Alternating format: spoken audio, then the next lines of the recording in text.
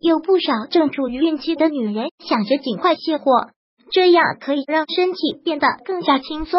月子期间还可以好好休养，也不用成天提心吊胆，就怕胎儿发育不好。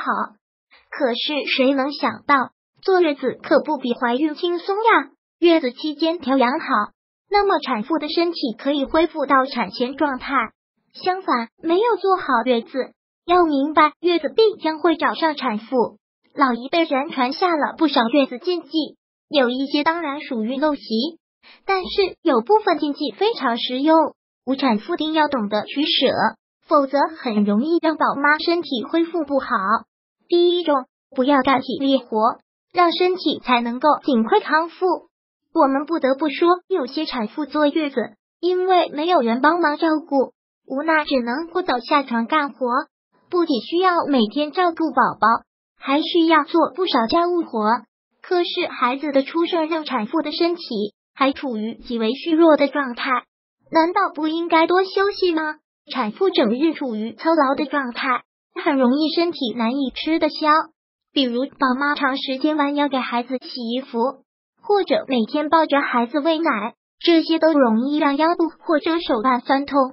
等到住月子以后，就是肠腰酸，这些真是让人感到心痛。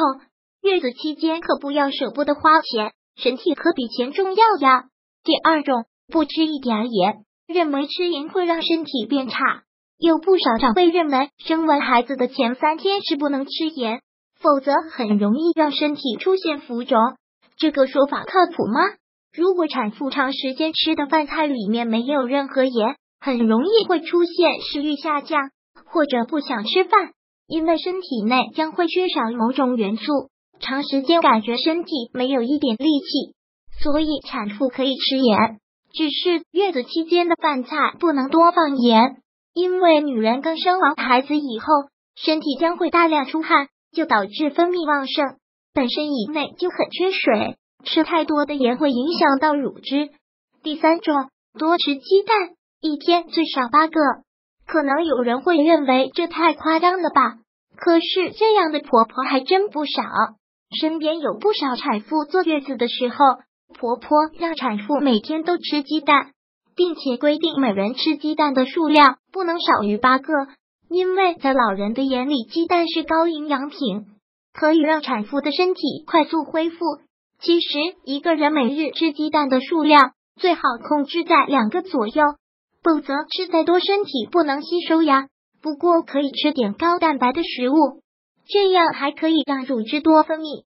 月子期间，产妇可不能过于任性。尽可能让自己的心情保持愉快，这样可以让你度过一个开心的月子。